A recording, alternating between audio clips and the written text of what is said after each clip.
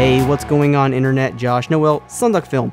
And we got a great tutorial because we're going to put text behind objects inside this tutorial. Now, this is going to work great with video, and you can even do it with photos, but in this case, I want to show you how you can do it with a motion picture. So, basically, what we're going to do is we're going to mask this tree out very easily, and we're going to 3D camera track what's going on in the scene so we can easily put the text behind an object. So let's go ahead and go into a new composition here. I already have my footage, and this is a still image in which I animated, so it's not actually real video.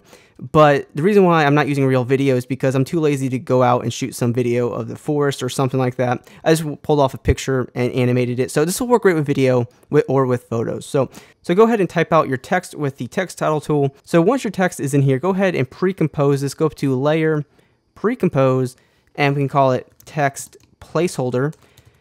And uh, the reason why we want to pre-compose this is so we can easily change the text a little bit later and there will be no problem. So what we're going to do now is we're going to put this behind our video here. So if we put the text placeholder underneath our footage, you'll see that's right behind the entire, you know, video plate there, but we don't want that.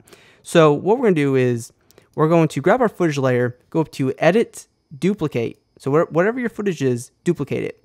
Bring that, you know, duplicated footage to the top. And what we're going to do is grab the roto brush, which is all the way at the top here, grab it. And then what you're going to do is double click the footage layer and then that layer opens up in the layer panel here at the top. So now you should be able to see this green paintbrush. And what we're going to do is we're just going to paint over the area that we want to put our text behind. So this tree, for example, is where we want to put our text behind. And as you can see, the roto brush pretty much selects all those related pixels. So that's great. Now what we need to do is basically move forward in time and track this shot with the mask. So what we can do is grab our playhead right here and move forward just by a few frames. And what's going to happen is that the roto brush is going to analyze the frames from the first frame to where we're at now at frame 5. So you can see this little green bar going through here.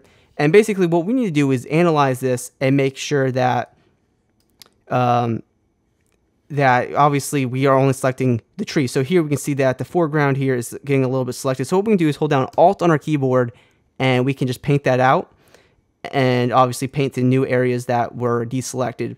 And for the most part, you know, you just want to make sure you're getting the area that your text is going to be behind. So keep that in mind. And then what we can do is continue to analyze forward, and you're going to want to repeat this process all the way to you know the end of your animation. So in our case, we'll keep it at five seconds, and go ahead and do that, and then I'll be right back once this entire analysis is done.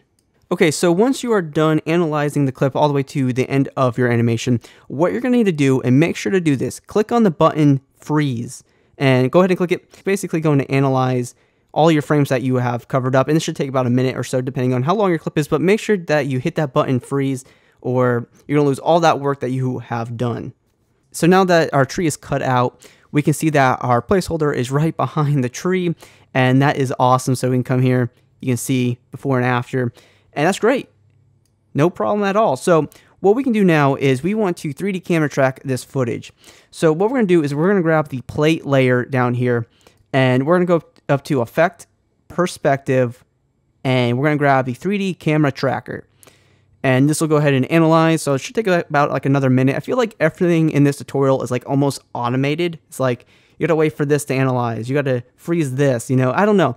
Anyway, you go ahead and grab like your third cup of coffee at this point, cuddle your puppy or whatever you kids do now these days.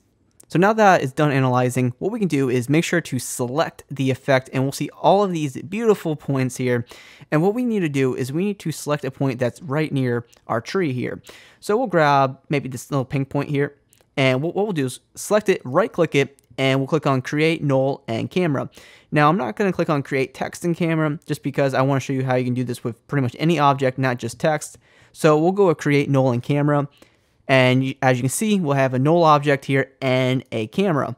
And what we need to do is make sure we're, at the beginning of our timeline and we need to grab our text and we need to grab the pick tool or the parent tool and we'll parent it to the null object. And once that's there, our text is going to you know, blend in directly with our scene with no problem at all. So that is looking great. So at this point, we're pretty much done, but I want to animate our text. And since our text is parented to the null object, we can animate the null object. So what we can do is select the null object, hit P on our keyboard for position, add a keyframe forward position, move forward in you know in time, maybe to the end of the animation, and we can just create this offset animation like this, and then basically we're gonna have our text animating from right to left. So that's looking really good.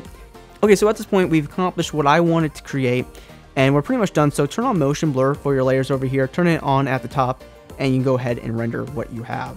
And after a quick render, this is what we have, and the text is right behind our object, so that looks really good. So hope you guys found this tutorial insightful. If you guys did, drop a like on the video, subscribe to the channel for more After Effects videos, and please be sure to hit us up on our social media networks. Those links are in the description of the video.